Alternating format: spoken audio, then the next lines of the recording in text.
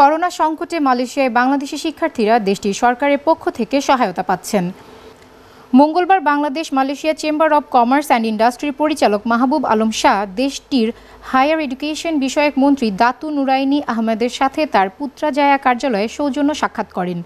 এ সময় আলোচনাকালে মন্ত্রী জানান, বাংলাদেশ সহ বিদেশি শিক্ষার্থীদের পাশে রয়েছে মালয়েশিয়া সরকার। প্রতিনিয়ত তাদের খোঁজ খবর রাখা হচ্ছে। সাক্ষাৎকালে মাহবুব আলম শাহ শিক্ষামন্ত্রীর হাতে গ্লাভস, মাস্ক এবং হ্যান্ড স্যানিটাইজার তুলে দেন। সংকটময় সময়ে Bangladesh Malaysia chamber of commerce এগিয়ে আসায় প্রশংসা করেন মন্ত্রী।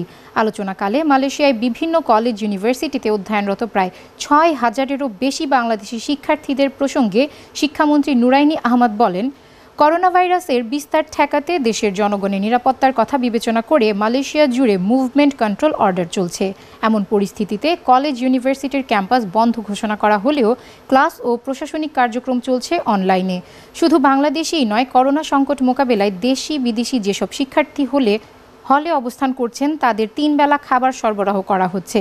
এছাড়া যারা হলের বাইরে থাকেন, তারা তাদের কলেজ বা ইউনিভার্সিটির অনলাইন ফর্ম পূরণ করে ইউনিভার্সিটি বা কলেজের ক্যাফেটেরিয়াতে তিন বেলা খেতে পারছেন।